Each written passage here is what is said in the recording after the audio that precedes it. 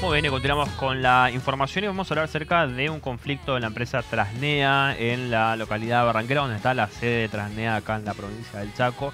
Hoy hubo una manifestación para visibilizar la situación de los trabajadores de esa empresa de distribución de energía. Y estamos precisamente con Sergio Ríos, secretario general del Gremio Luz y Fuerza. ¿Cómo le va, Sergio? Muy buenas tardes. Saluda Juan Manuel Lúfero para Ciudad Televisión. Tardes, ¿qué tal? ¿Qué tal, querida audiencia? No, yo para aclarar nomás, soy secretario gremial. Gremial, perfecto. Del Sindicato Luz y Fuerza. Bien, contanos un poco acerca de por qué llegan a esta instancia. Hoy veíamos que se estaba manifestando, hubo eh, quema de cubiertas y la idea un poco era visibilizar el conflicto que, que se tiene. Sí, nosotros nosotros como, como gremio venimos hablando con la empresa Transnea desde marzo y eh, ellos se niegan a dar solución a los trabajadores más sindicatos. Tenemos diversos incumplimientos, lo que es recomposición salarial, ya tuvimos cinco audiencias en lo que es el ministerio, junto a la empresa y el sindicato, de los cuales no llegamos ni a una solución.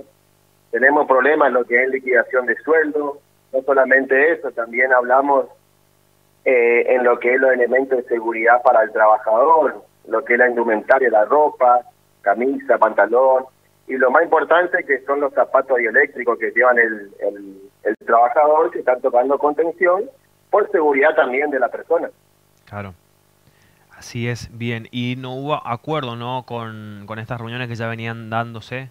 No, no, no hubo ni un acuerdo. Pues yo te decía que tuvimos cinco audiencias en lo que es el Ministerio de la Nación, donde se encontró una empresa con la Federación de Trabajadores de Luz y Fuerza y no llegamos ni a una solución. Hoy nos encontramos el miércoles, el miércoles mejor dicho, eh, 26 a partir de las 0 horas, eh, empezamos con medidas, con trabajo estricto de reglamento y, eh, y asamblea permanente en el lugar de trabajo. Hoy tuvimos asamblea también para dejar tranquila lo que es eh, la audiencia, eh, mantenemos guardia mínima para mantener el servicio. Claro. ¿Cuántos trabajadores son los que están acá en la, en la planta de la provincia del Chaco? En la planta de la provincia del Chaco acá son casi 100 trabajadores y, trabajadoras. Bien, y como decías, ¿no? Eh, a pesar de, del paro, están las guardias mínimas, que bueno, el servicio eléctrico está garantizado en lo que refiere al trabajo que ustedes realizan. Exactamente, nosotros esto lo queremos, queremos dejar bien claro eh, a la audiencia que el servicio se va a mantener con guardia mínima, así que se queden tranquilos. Nosotros también, yo quiero dejar algo claro, que, en estas medidas que estamos haciendo para, para los trabajadores, hacemos la empresa, eh, reclamamos que nosotros hoy decimos que la canasta básica está en 230 mil pesos, un trabajador de nuestra empresa Trasnea eh, está cobrando 120 mil en mano. Claro. Y sí, es una, una, situación compleja, ¿no? Como muchos otros trabajadores ¿no? de la República Argentina con, con el tema de la inflación y los sueldos que no alcanzan. Exactamente. Por eso también nosotros estamos abiertos al diálogo. La empresa hoy, si llama, nos intentaríamos hablar, pero también queremos que traiga algún tipo de respuesta y solución a nosotros, digamos. ¿Y qué le dice la empresa? Porque las utilidades de este tipo de empresas son muy importantes, ¿no? Y la, la empresa se niega, nosotros venimos, como te decía, veníamos dialogando de marzo y hasta ahora no tuvimos ninguna solución. Que hoy nos lleva a, estar en un trabajo tipo de reglamento junto a una asamblea permanente de de trabajo. Claro. Bien, ¿Y, cómo va a continuar las medidas? Hoy eh, se hizo este esta manifestación y cómo va a continuar eh, las próximas horas, los próximos días, si es que no hay una conciliación, si no hay eh, una, una nueva reunión con, con los directivos de la empresa Trasnea. Y nosotros vamos a vamos a seguir lo que es en asamblea permanente, lugar de trabajo, y claramente manteniendo la guardia mínima hasta que nos sientemos a dialogar. Pero la intención es sentarnos a dialogar y llegar a una solución. Claro. ¿Pueden llegar a agravarse el conflicto en torno a las medidas que se tomen?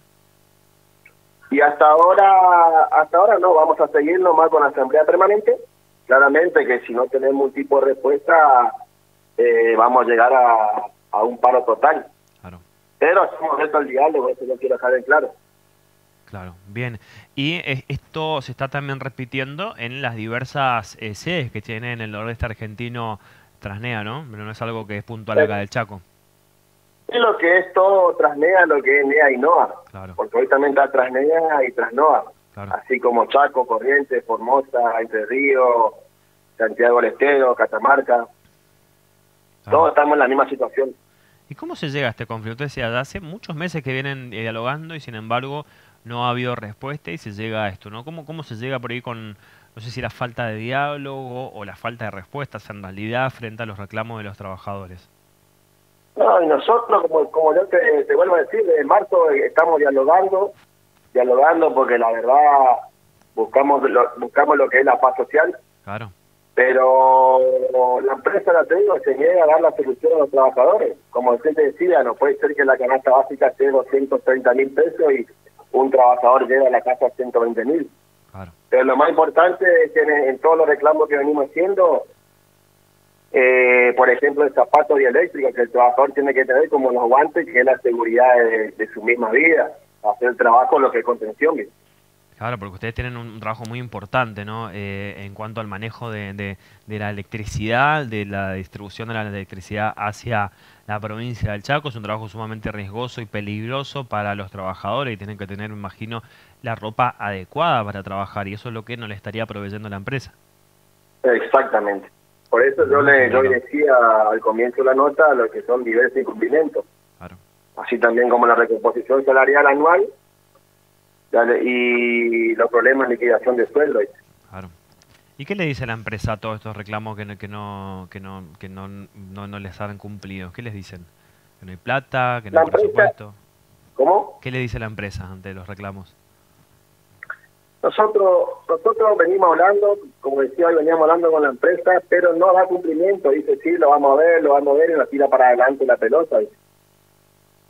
Y nosotros, vuelvo a aclarar, en marzo venimos nosotros dialogando, pero llega un momento que tenemos que, parar y, comenzar con medidas. Claro, imagino. Bien, Sergio, le agradecemos por esta comunicación. Vamos a estar seguramente en los próximos días comunicados para ver cómo continúa ¿no? este, este estado de asamblea permanente de los trabajadores de Trasnea. Muchísimas gracias. No, muchas gracias a ustedes por comunicarse conmigo y hacerle saber a la a la audiencia los problemas que estamos teniendo los trabajadores de, de Trasneo y dejar bien claro que el servicio se va a mantener con guardia mínima y que la empresa también sepa que nosotros estamos abiertos al diálogo como sindicato de luz y fuerza. Así que agradezco la, el, espacio que nos dieron a, nosotros para poder hacerle saber a la, a la sociedad el problema que estamos teniendo. Perfecto, muchas gracias Sergio, muy amable. Muchas gracias